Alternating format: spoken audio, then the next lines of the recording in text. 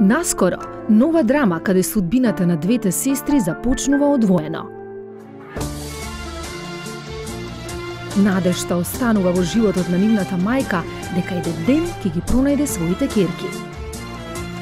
Кошмарот за нив започнува кога еден човек ќе им го растрепери животот.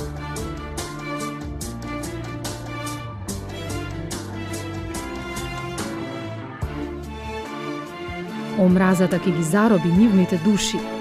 Приказна за суровиот живот и болката во нивните срца.